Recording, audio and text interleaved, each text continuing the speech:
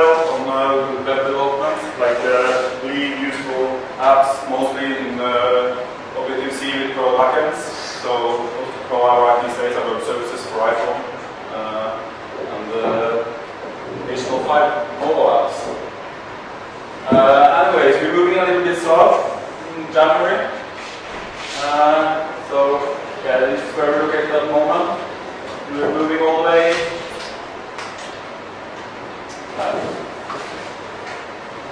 here. Yeah, so we have about 500 square meters co-working facility there. So if you're ever in real Oslo, it's about three minutes from the central station, and they provide drop-in and uh, regular co-working services. So be sure to visit. Uh, about me and over to tonight's feature presentation.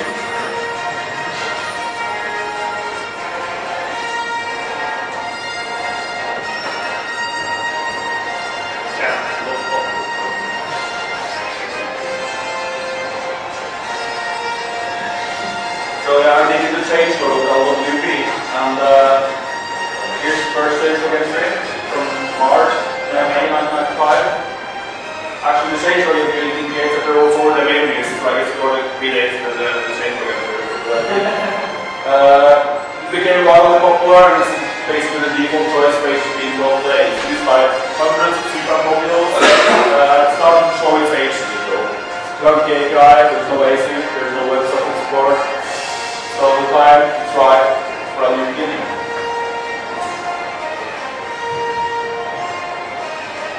Um, so I'm presenting the, the Mojolicious framework, it's like a LP for the next decade. This is like a simple example. I know that you there's some BBC people might not appreciate the, the scraping of the BBC, but uh, I'll go a bit uh, through, through this example in a bit more detail later. Anyways, that's not like the way motivation happened. Uh, there's this uh, poppy fruit from uh, Sebastian Riedel from the south of, of uh, Germany. Known aliases include Craig and SRI on IRC. And uh, sometimes claims to be a bot. But anyways, first time I heard about Sebastian was uh, on Maypole mailing list. I think that was back in uh, 2005 uh, when Simon Cozens decided to become a missionary instead of a Perl developer, so he wanted to give up maintenance of the Maypole uh, framework. Sebastian took it over, uh, and he wanted to make some radical changes to it. Uh, however, he got booted from, from the maintenance of the Maypole framework, so he decided to start something of his own, and uh, he got a Catalyst. Uh, Catalyst became quite popular, I think it's probably one of the most popular frameworks Perl today. And still Sebastian wanted to make some radical changes around 5, 6, and 7. And uh, again, he got booted by the, the developer team. Uh, at that point, it was me. Uh, anyways, Sebastian took uh, a year off from Perl. He did like, I think he did Ruby on Rails and World of Warcraft. And when he came back, he started Mojolicious. Uh, originally, the, the idea was to create a framework construction kit. Uh, that didn't really pan out, but wanted to target PHP developers and, and uh, 12.6. So for that reason, um, to make it easy to install and try out, uh, to make it easy to port to Perl 6, we made a framework using only Perl 5 core dependencies. Uh, so installing it is really easy. It takes like 20, 20 seconds. It's a simple example using the, the, the very popular uh, CPAN minus distribution by Miyagawa. Uh, so you can say, including running all the tests, it's, it's installs in less than a. This is the current version, by the way, uh, 0999950. Right, I just got SMS, so. the disadvantage of using a remote. yeah, I'll that next time latest from Actually, all of, of releases uh, is done on GitHub, and uh, most of most contributions are done through the fork system on, uh, on Uh, so yeah, again, C++ is actually my domain. If, if, you don't like that, you just use uh, install app C on and install the URL directly from Mojolicious. Uh, So in order to, to accomplish its goals without adding any core dependencies, uh, Mojolicious has implemented a full HTTP 1.1 compliant stack. Uh, that's just like example, robust 16. Anyways, uh, it includes like transaction objects, messages to response, message requests, cookies, cookie jars, URL objects, everything, basically everything that we need to implement uh, HTTP. Uh, uh, and it has been done using test-driven development, so everything is well tested and uh, implemented according to spec. Uh, basically, uh, all the cookie stuff and, and things are implemented based on the RFCs. Uh, or is a, a pragmatic implementation. Uh, for instance, Nginx uh, discovered uh, only provides HTTP status codes rather than status words, and, and so Mojolicious support that as well because it doesn't really hurt the spec compliance and it makes it more useful for real world implementations. Uh, so the next logical step once you have this framework uh, applying on top of the stack. Uh, client supports IPv6, TLS, proxies, equal, KeyCube, through optional dependencies that you have to add actually. But, uh, um, basically, uh, the Moira framework is, is Lego. It's built from reusable bricks. All of the underlying core dependencies are, are, are uh, end user usable, and uh, can use any part of it without using the, the, the entire framework. Uh, one of the first things that I actually used Mojolicious for myself was using was for parallel requests in a Catalyst project. We, we needed to uh, fetch a lot of XML from various sources, and we did it in parallel. We've been using VB curls for this before, and uh, as the LWP parallel requests. But all of these are quite ugly and, and problematic implementations. Especially curl has like a C core, and it's hard to debug if, there's a trouble. Uh, basically, it couldn't be easier using the Catalyst, never really using the Mojolicious client. You just set up a callback for each of the requests you want you want to, to load and the URL, uh, and you just do client start process, and then it, it runs all the requests, and then the provider runs the callback once it gets the content. Uh, client also supports easy form handling. Here's a simple example. See, we're getting uh, uh, CPAN search interface, and we're posting the, query uh, with the hash with query parameters. Uh, so this is client post form with, with, the, with the hash. Uh, this also shows the, the um, error handling stuff. You can see the, the post format returns a transaction, and then you check the, success method on the transaction, which will return our, our results if the transaction succeeded. And then you can use the response message. Otherwise, uh, you get back the message error in code. And do stuff with that. So I showed a bit earlier, there's also quite powerful one-liner support in the framework. Uh, there's a, included in the distribution called uh, ojo. So when you use command line on Perl, we have like Perl minus M. Mojo. Uh, an Ojo package includes, or it exports a number of, uh, simple methods into your, to your uh, namespace command lines. G for jet, D for delete, form post, post with a, post body, cut requests, WebSockets. There's even a couple of special cases there. Uh, it includes B for byte stream, which is, is an utility class that lets you do stuff with byte streams, and uh, A method to set up a really simple uh, server. So here's a couple of examples of the use of the module. This first one is a synopsis from, from the documentation. Uh, you can see it gets the Mojolicious order page with a set of uh, query headers in a, in a hash reference and an optional request body. Second example uses uh, DOM parser and gets title from, from the uh, Mojolicious uh, homepage and uh, prints that out. So here's another one that scrapes Bloomberg and gets all the story links. Uh, and prints that. Another newspaper for Big. Uh, you can see basically it is a full uh, uh, XML, liberal XML parser there. There's also a couple of uh, uh, undocumented cloud functions. This is supposed to be optimized for fun, so uh, you can use the little O, big O there to, do it as an alias for the for get method, and the big O, little O as uh, an alias for byte string method. Uh, to write cloud-based computer software. Anyways, uh, Mojo DOM um, is a liberal XML parser. Uh, it can basically it can parse most HTML pages out there. Just like uh, you can kind of think of it as jQuery for the server side. Uh, supports all CSS3 selectors that make sense on the server side. Stuff like hover and, and, and things aren't supported because it's kind of hard to do on server side. Uh, but uh, anything like uh, star element where foo equals bar, element checked elements, empty elements, element child, first of type, all that stuff is implemented. Uh, and works pretty well.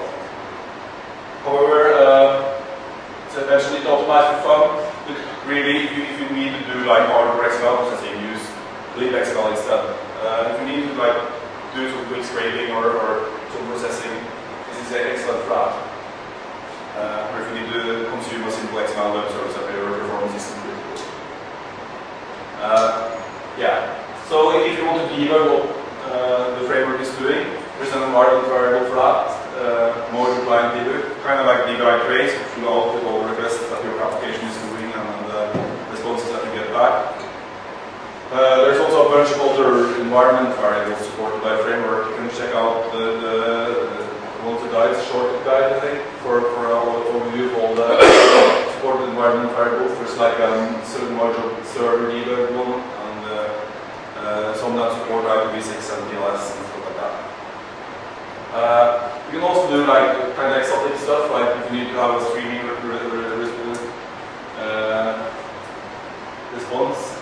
Uh, you build a transaction using the client here, and then you set the body of the response to print, and then you get back something. So then you can like run the request, and while, it get, while it's getting back uh, data, it will, will periodically call the subRef there, can set the body, and, and uh, do stuff body. You can also even do like a custom socket by setting the transaction socket before you start from, from the. Yeah.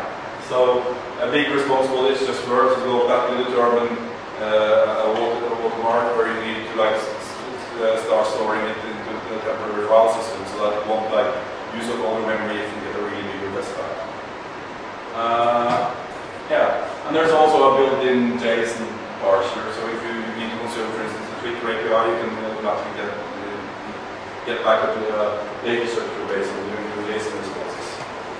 Uh, you can also uh, use some of the CPAN-based uh, JSON parsers if you if the built-in one doesn't suit you.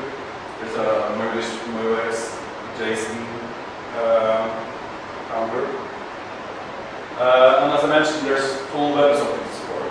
So I don't know what, how much you know about WebSocket. It's basically it's, it's a part of the HTML5 spec and it's a protocol for uh, opening sockets over HTTP. So uh, Mojo was actually the first Perl framework to have support. Uh, you see a simple server example here where it sets up a, a WebSocket on the root and, and uh, whenever it receives a message it gets a call back here which includes a message and you can message back that way you can build up uh, conversations. For instance, you could do like a sequence conversation on the first message I got, second message I release, and so on. For a lot of examples using the Mojo framework and, and WebSockets, you can check out VDI's GitHub account. He has uh, like a, a DNC client running in WebSockets, uh, uh, a slideshow presentation thing, a IRC client. It's lots of cool things that, that you can play with and play with labs. Uh, it supports some, uh, version 76 of the latest one. Uh, there's still some controversy about um, WebSockets. Uh, you can also use use Cline to test your WebSockets, even if you use different implementation. And, and the server uses callbacks to, to handle uh, responses on message. So whenever you get back, you a callback, whenever I get back a message, I should do this or that. Then you just like the client by sending the first message. Um, yeah. So Google has gotten involved in the WebSocket thing, and, and we're not quite sure what's going to pan out yet. Uh, there's still some browsers that don't support it, including Internet Explorer. So what we need to do right now to get good support is to use a, a flash fallback, which basically you use, you use WebSocket whenever it's natively implemented in your browser, otherwise falls back to like a, a flash implementation of that Uh, but, uh. Anyways, the framework would integrate now the server thingy, and that actually merges includes too. There's the light app that I just showed you, which we'll first. Let's just generate a simple light application. So you use the Mojo command for all of, all your, generation needs as well as running beans and stuff. Generate light app will say, oh, uh, we create a tiny VS file and make it uh, runnable. So let's look quickly at the content of that file. This is basically a, a really simple uh, example of a Mojolicious app. This gets uh, the first line there, it gets it handles uh, request to the root and just says uh, and the request to the root just that it handled, get handled by the uh, index. Uh, the rendering system picks up on that, so we'll look at the templates on the next page. And the other one says I want to handle anything with, with the one placeholder. Uh, there's several kinds of placeholders. So you can have more greedy placeholders that include the slash or just like uh, uh, single placeholders. Uh, and basically it says render this text back. So in the last page there is starts application. So it depends on which daemon you use to start with. You can do fast CGI, CGI even because start costs are quite well on this framework. So you can easily deploy to, to shared hosting, for instance. Uh, yeah. So here's the template example. This uses the built-in template system of uh, uh, Mojolicious system. Uh, so the indexation template says use the funky layout and just render the baby. And the, just over there is uh, you can see the app that sign in, in inline files. You can also easily extract all of these inline files out into file system with notifications. There's also there's actually a code generation tool that looks through your simple app and extracts all the files included if you need to like uh, deploy someone else's app and want to change it to them. Uh, so I guess the router thing is quite familiar with people using double Twitter, for instance, or uh, auto handlers on, on uh. Basically, uh, the Mojolicious template system is instead like a lightweight Mason. Uh, so if we start at map, it will show a simple help description showing you what, uh, what you can uh, use. Uh, you can start or mode. Uh, and over last track, and then call it, stuff like that. Uh, you can also easily debug all of your route setup by using the routes command to output all of the configured routes of your application. Um, So that application that we just showed down three different URLs. Uh, the root will provide the root, simple wrapper where we shall show. Uh, anything with one query parameter will output whatever query parameter you put into the, the thing, and uh, anything else will, will fall back to the default for for handling. Um, here's some more examples. You can, uh, as well as using get, you can define older HTTP word like polls. Uh, we can uh, use placeholders um, and even do stuff like regexes to, to control that you match only numbers or, or stuff like that. And you use the rendering system to, to show what you actually provide. The Live framework also has something called ladders, which you can use. So any, any action defined below the ladder will, will only run if ladder returns true. It's kind of like an auto action uh, Framework. So So here's a simple application example, but you can basically use it for whatever you need.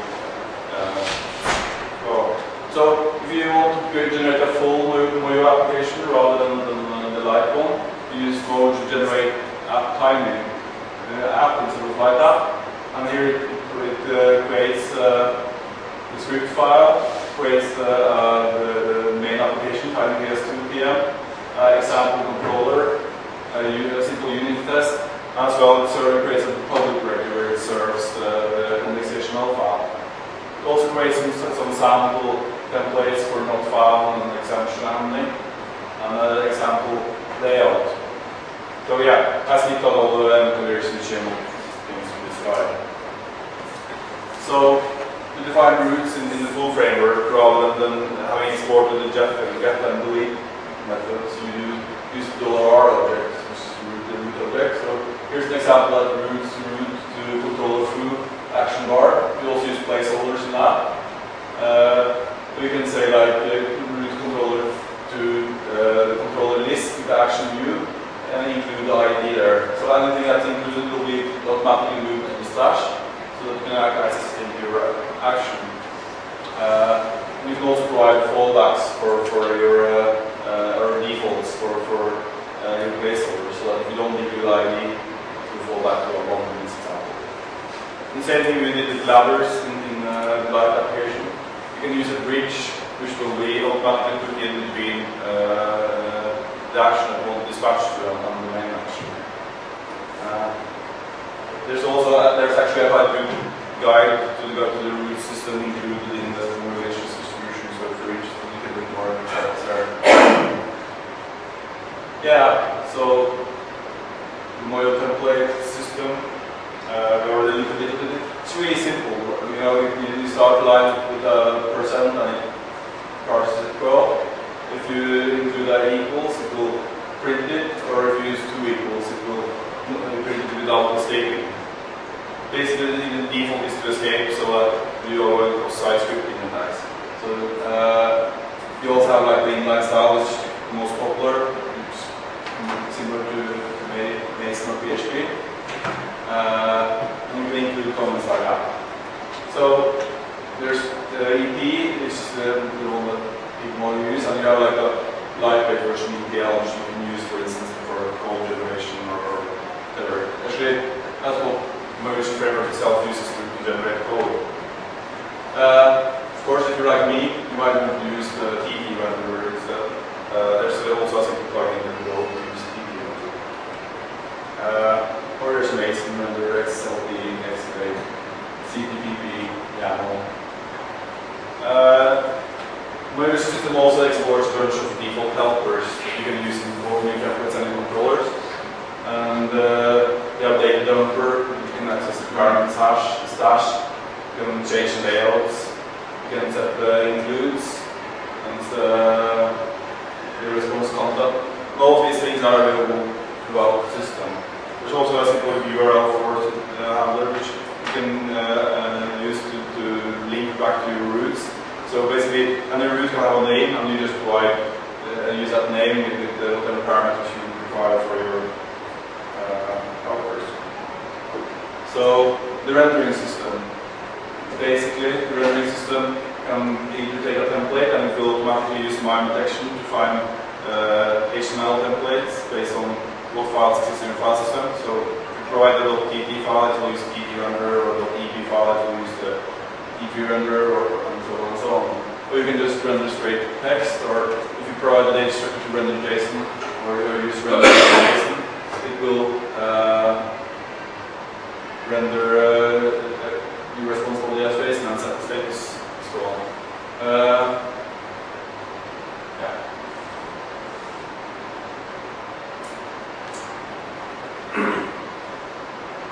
So there's also a plugin system, and the plugin system is hook-based we have like a, set of different hooks that you can connect to rather than overloading uh, uh, with, uh, with, with multiple inheritance. The plugin system says, I want to do something, run something off the dispatch and it will run all those actions in, in um, order.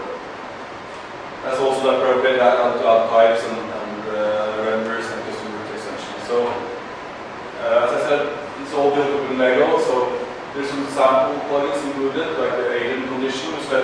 adds to the route dispatcher so that you can uh, dispatch different routes based on which user agent you are. So you can uh, do like Microsoft Free Fridays for those things and uh, uh, stuff like that. There's a default charset plugin which Unicode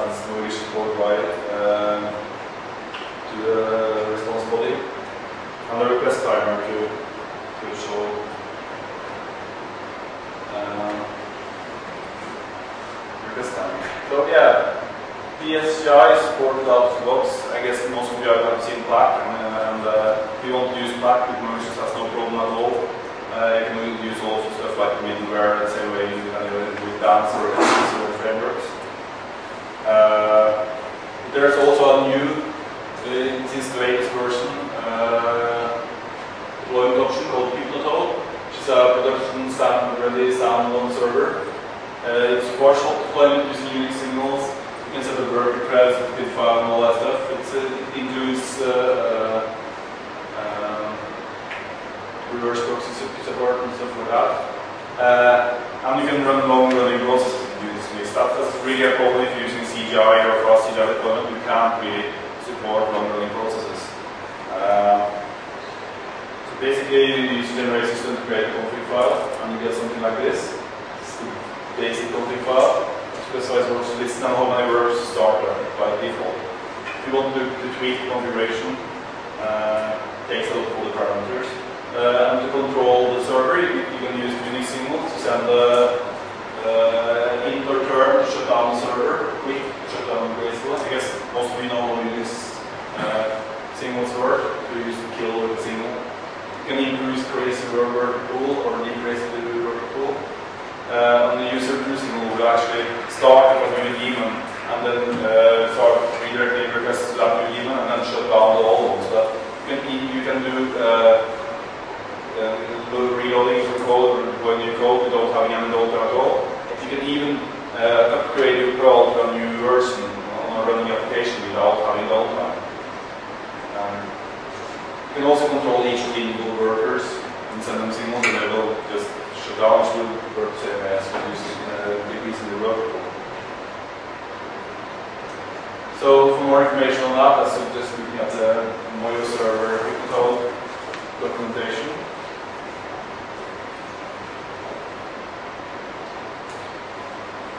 Uh, I think my, my time says five minutes. So.